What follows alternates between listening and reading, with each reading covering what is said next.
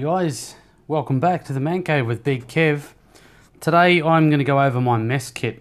Uh, this stays in my bug out bag and um, as you can see it's just in a canteen pouch.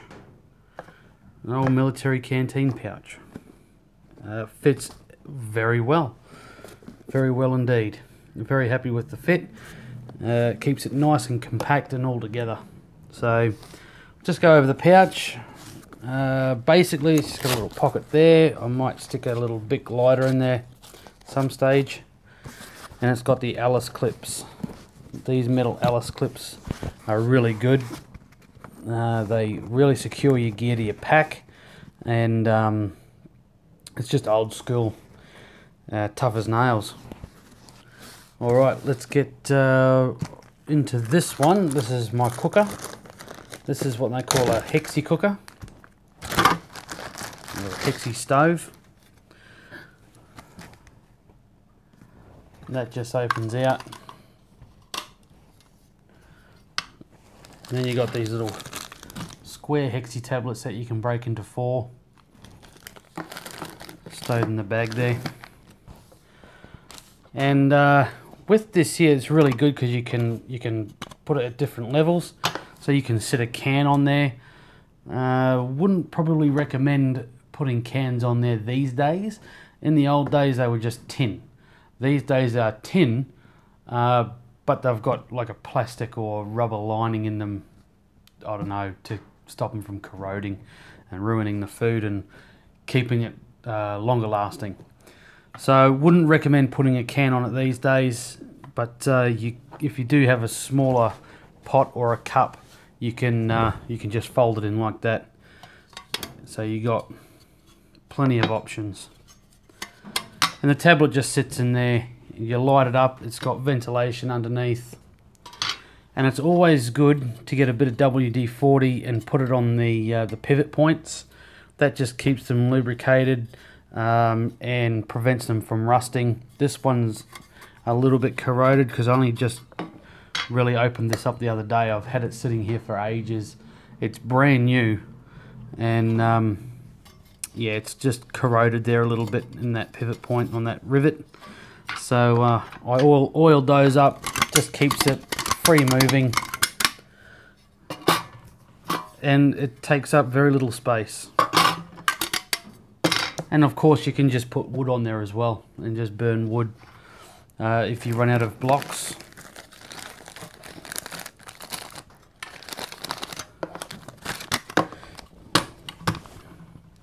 There we go.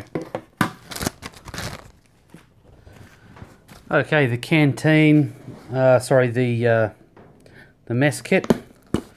Just undo, uh, undo the domes. My knife, fork and spoon.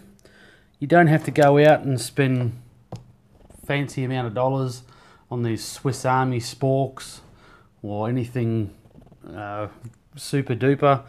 Uh, I personally like to have three separate items instead of having a, a spoon and a fork on the one thing that flip out like a, a Swiss Army knife. Um, and using, they, don't actually come with a knife, I don't think. So this is just a real basic $4 job. We had these when we were kids and these are bomb proof. You're not going to destroy these. They're really strong, hardy, yeah, you're not going to go wrong with those. Um, actually, behind me, I did get... Oh, no. It's all gone horribly wrong.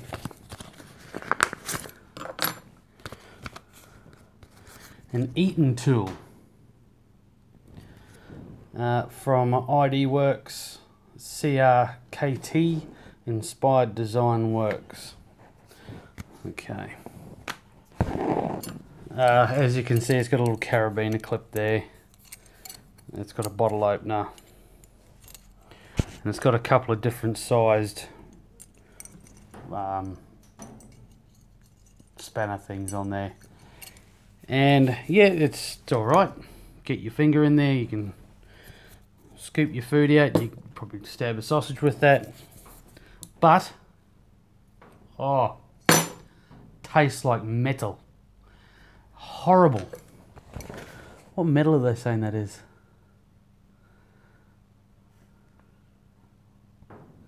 Stainless steel? I don't know.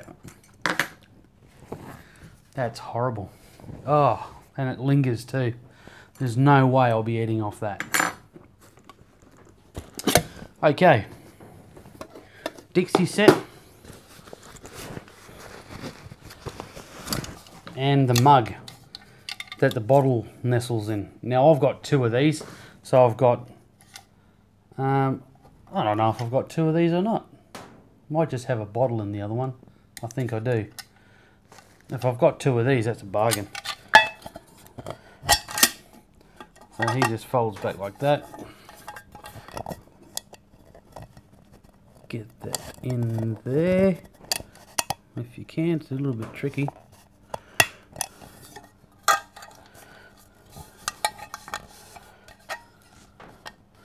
And hmm. Tim. There you go. Okay, and uh, look, I've got to measure that. Actually, does it have the measurement there? No, it's just got the army number on there, 1981. I was born that year, there you go. It doesn't have markers on it. But I would hazard a guess that that there is more than 500 ml because the bottles are a litre and that's just over half of the size of the bottle. So I will measure that one day. Mess kit. This is my Dixie set. So you get your two sizes. Uh, dishwashing liquid and cooking oil. Scotch Brite and some baking paper. Um, not too sure if it's these ones or the aluminium ones, but food can get very sticky in in this sort of stuff, uh, especially like soups and that. Uh, you're not gonna probably use one of these for soups, but on a low heat, keep your soups just so they simmer, not so you're boiling the ass off them and they stick to the bottom. Uh, but for things like sausages and eggs, these are great just to put in there and um, stop it from sticking. So you can actually flip your eggs and not mash your sausages. So you got the two sizes and with your cooker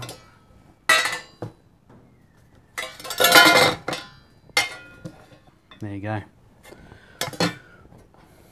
and as you can see the profile there the flame isn't too far from the bottom so you're going to get maximum contact with your flame um, and it's going to start cooking pretty quick Okay. Hygiene. Very, very important. Scarapad and dishwashing liquid. Don't ever forget it. Uh, the, the last thing you need is poorly cleaned equipment. You go and cook something up the next day, you've still got rotten food in there from the day before. You get sick, you're in the middle of nowhere, you've had it. So no one's out there to help you. And if you can't help yourself, you're pretty much screwed. So always make sure that you give it a good clean. Uh, not only that, to get the soot and everything off there as well. These have been used and some of it is quite black. And you hear about people blacking their equipment and say, oh yeah, it's used and you know, it's blackened and whatnot. But if you don't clean it, it's just going to corrode. All those little particles of, of, um, of soot and that are going to hold water and it's just going to rust your gear. Um, it is stainless steel, but stainless steel will get rust on it uh, in some cases. So just be very mindful, keep it very clean and hygienic and you're, you're going to be right as rains. So uh, that's great for obviously boiling a lot of water um, we'll go over water purification in another video. Uh, but that's pretty much it, guys. That's that's my mess kit. That just sits in my bag. Um, when I go over my bug out bag, I will let you all know why, uh, the way I configured it and all that sort of stuff. So these live in my bag, but they're still more like compatible for a good reason. So that's it, folks. I'm going to pack all this stuff up. And until the next video, see you later. Uh, before I go, though, hit the subscribe button if you found any of this helpful. Um, leave a comment. Uh, if you've got any tips, leave a comment. I'm always up for them.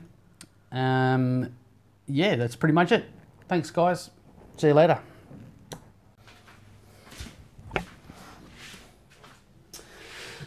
I almost forgot. Once it's all packed up, the last thing you need is a noisy kit.